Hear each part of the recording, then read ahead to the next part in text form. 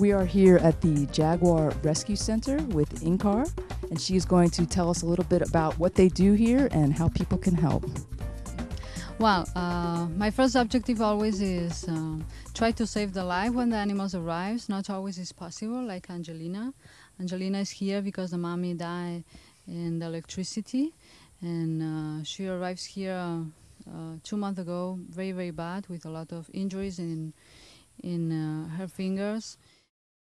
Our very important objective is try to put them into the wild. Release into the wild is very important for us. Very, very important. Sometimes it's a risk, but I prefer to risk a little bit that have a lot of animals inside a cage. No?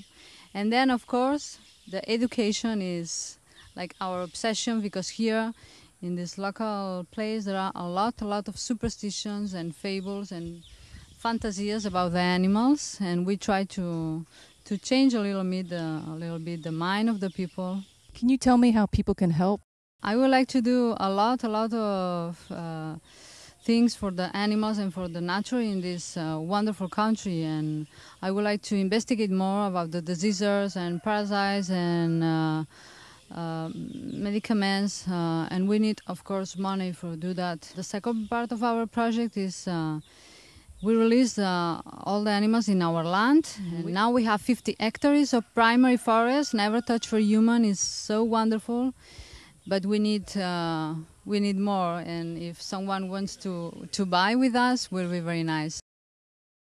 For example, there are people from United States that help us with the milk, special milk that I need from the uh, for the sloths, and and it's only from United States. No? Can you tell us just real quick a little bit about some of the animals that we're going to see today? What kind of animals are here? We have uh, all the poisonous snakes of Costa Rica. Our collection of snakes is one of the the most important here.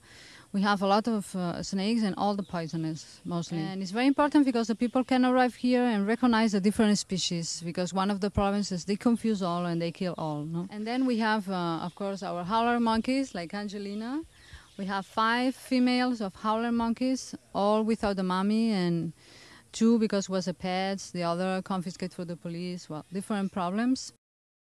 Then we have sloths, two fingers and three fingers, the two different species of sloths.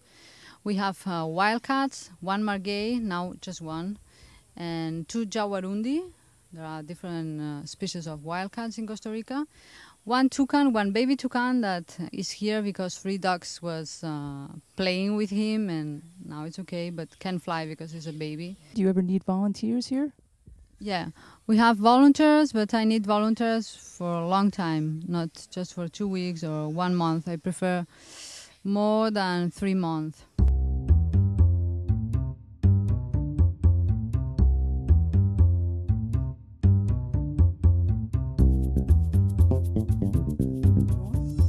We are going to talk a little bit about the sloths, as you can see right here. Well, here we have the three-toes sloth. In Costa Rica, there are two different species: the three toes, like she, she's Guarumita, and the two-toes sloth. And both are very, very different. For example, the big difference for me is, uh, of course, the, the face is very, very different. The hair is different.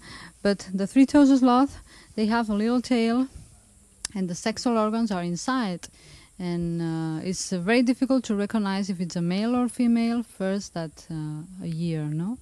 Then if it's a male the male have here on back like a patch orange and um, and black. And it's very easy to recognize on top into the tree. But the two toes no because the sexual organs are externals normally without the tail. But on top into the tree is not easy to recognize them no and then the behavior is very different. For example, this one it's only leaves, mostly guarumo leaves, one kind of a tree. The two toes it's uh, different, different uh, leaves, fruits, and and some insects, and perhaps eggs in the nature too. And and well, the two toes is. Um, is faster than this one. is a more defensive animal. If you want to touch a wild two-toed sloth could bite you. This one never. This one is very peaceful animal and never bite. Are sloths endangered here in Costa Rica?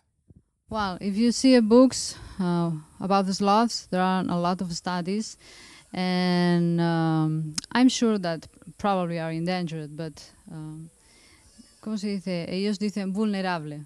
Vul- vulnerable is near to endanger or probably endangered, but the problem is about the neotropical fauna, about the neotropical animals.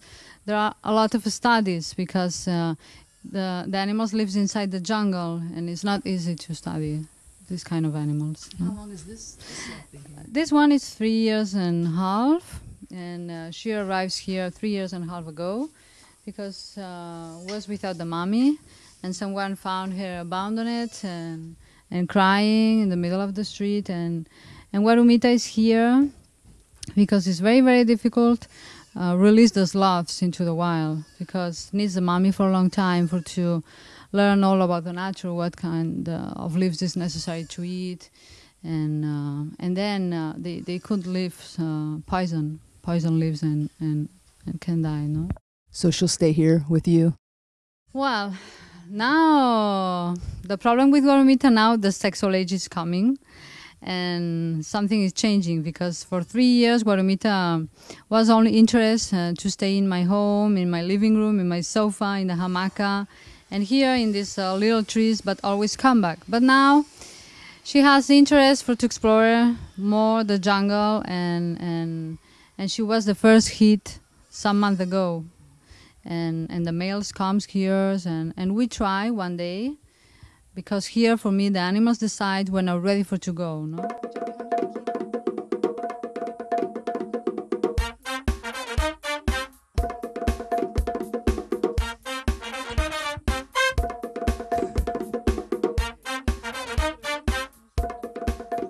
We are in here with the howler monkeys, and we're going to learn a little bit about them today.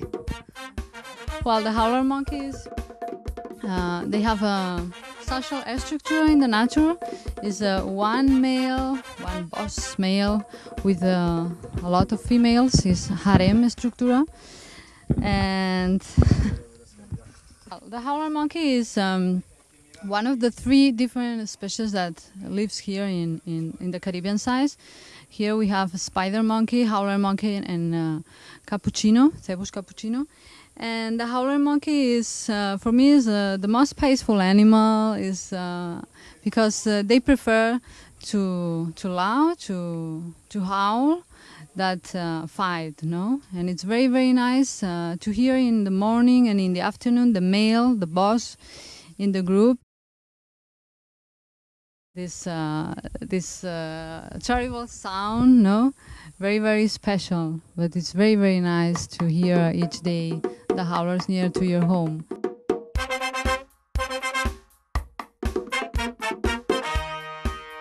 And today we're here with Mr. Uh, How- or Mrs. Howler.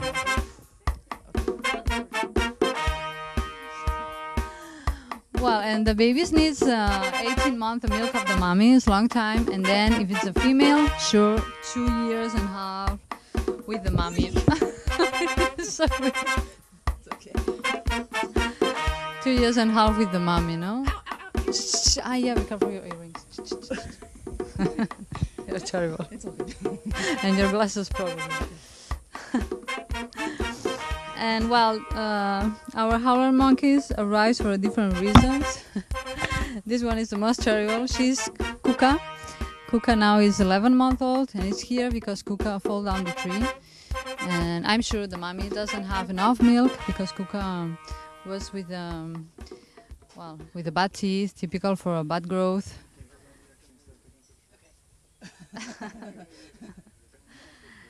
and with a big infection in the ba- on, on belly. Now the milk that you talked about is it is it for the the babies? These babies? Yeah, I use uh, milk and formula for like human babies. They need the same. And uh, this one was my first monkey. She's Minimo.